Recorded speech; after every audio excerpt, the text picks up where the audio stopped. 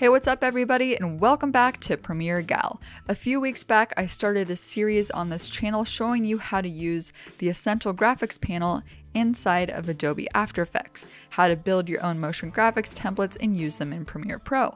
And one of you guys asked me to actually show you how to turn an Envato Markets Video Hive After Effects template into a MOGRT file, specifically a transitions template. So I purchased this template called Transitions it features 35 different clean transitions. Let me show you the preview here. And basically, I'm going to show you how you can turn this into a MOGRT where you can control the color, customize it inside of Premiere Pro without having to go back in between After Effects and Premiere Pro to streamline your workflow and ultimately speed it up. So if you want to, you can download this and follow along. If not, just follow along so you can learn how to do this once you're ready to purchase a template. So after you download this, you will get a project that's zipped that looks like this. And after you unzip this, it'll have a folder and it will have a CS 5.5 After Effects project file as well as a CC project file. So let's go ahead and open up the AEP file and I have it here open. And you will see that inside the project panel, there are all these different sets and there are a variety of different transitions that you can use. And the designer of this template made it super easy. All you have to do is drop in your media 1 and media 2 here, and then you can edit these transitions inside of After Effects. But what if you don't want to have to keep going back into After Effects and re-exporting each clip to then send over to Premiere Pro? So the way to do this is actually to get rid of these media inputs here. So I'm just going to turn the eyes off these media inputs here. And we're actually going to use the Essential Graphics panel. And this is building on the series that I've been doing on Essential Graphics and After Effects. So if you haven't watched those, I'd encourage you guys to watch those so you're up to date on everything Essential Graphics and After Effects. So for the sake of this tutorial, there are 35 different transitions in this template, but I'm just going to put in four to show you how to do it. And I really liked number seven, number eight, and number nine. So I'm going to open those up to show those to you. So number seven here wipes left to right. Number eight wipes right to left like this. And number nine is right to left completely horizontally. And this is the opposite, number 10. So how do we put these transitions into the Essential Graphics panel. So first, what we need to do is actually just close these two compositions here, the media compositions, because we do not need them. And we're going to create a new composition by clicking on this icon, and we're going to call it master because we need to create a master template that everything will go inside of. And because these transitions are short, I'm just going to make the duration of this composition three seconds and keep it at 1920 by 1080. Hit OK. So now we have the master composition. If you do not have the Essential Graphics panel open, go up to Window and go to Essential Graphics. Now here we're going to select the master composition. So find it down here, you can see how many compositions there are. Find master. And now we can call this transitions. So from here, what I'm going to do is actually go back up here to the project panel and drop in number 7, number 8, number 9, and number 10 into the master because we want all of these compositions to be within the master because everything we put in the essential graphics has to be within the master composition. So we can actually close these off for now. And the first step is to sort of organize our template. So I'm going to add a comment here. I'm going to call it transition one. And then I'll add a space. This is just for organization and I'll make one for number two. Add another comment, delete the comment to make a blank space. Transition three, add a comment for a blank space. And transition four. You can name these anything that you want. I'm just keeping it with the basics here. It doesn't have to be the same as the compositions 7, 8, 9, 10 because we're only choosing 4. It can be anything that we want. So the next step is to create checkbox controls so we can tell the motion graphics template we only want one showing at a time. So when we're in Premiere Pro, we can isolate one transition and just use that inside of our timeline. So to do that, we're going to select all these compositions by just clicking one, hitting shift and selecting the last one to select them all. Then you're going to go up to the effect and search for checkbox controls and double click to apply it to all of these, okay? So what we have to do here is link the checkbox control with the opacity, okay? And I went over this in previous lessons, so I'm gonna go through this fairly quickly. Let's start with the first one here. Open up Effects and Transform. You're going to Alt Option click on the stopwatch for opacity, pick whip it to the checkbox, and then you're going to times it by 100. And then you can drag and drop the checkbox up here, and we will call this turn on slash off. Okay, same with number eight.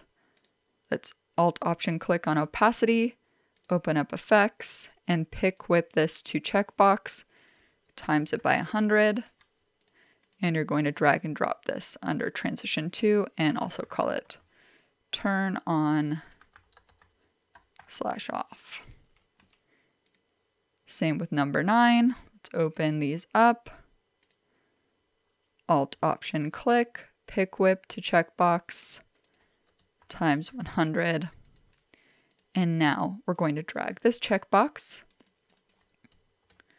turn on slash off. And the last one here, let's toggle down the checkbox, Alt Option click on opacity, pick whip it to checkbox, and times it by 100. And now we need to drag this one up and call it turn on slash off. Now the reason why we did this now is because now we can turn one on and off. You can see that now the first one's on, we can turn that off. Now we can turn on transition 2 or turn it off, or we can turn on transition 3, turn it off, or we can turn on transition 4 or turn it off. And the last thing that I want to do is we want to be able to control color. So I can add a color control for each of these transitions. And to do that, there was already a color control added by the designer of this template. So if I double click on number seven here, you can see that there's a color control called change color. If you hit E, it'll show you what effect is on that layer. And I'm going to drag this color control underneath transition one. All right. And I'm going to do the same for number eight. And I'm going to drag this to number two. Same with number nine.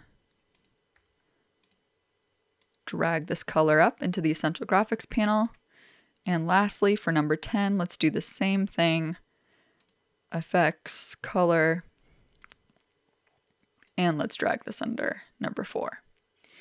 And so now the reason why this is super cool is we, if we go back to master and we turn on transition one, let's say we want the blues here to be, let's say, purple color. You can do that, like a pinkish purple color, and it changes.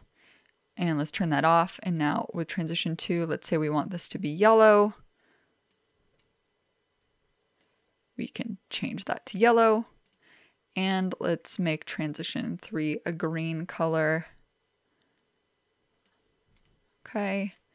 And let's make this also kind of a darker-ish blue. All right, so now once we export this, we can of course change the colors inside of Premiere Pro. But to do this, to export this to Premiere Pro's Essential Graphics panel, just select Export Motion Graphics Template at the bottom, hit Save, and of course it'll ask you to save it as a converted project file, and I'm going to hit Save into this same folder that it originally was in. And then it will ask you where do you want to export your motion graphics template file. I'm just going to select Essential Graphics Panel and hit OK.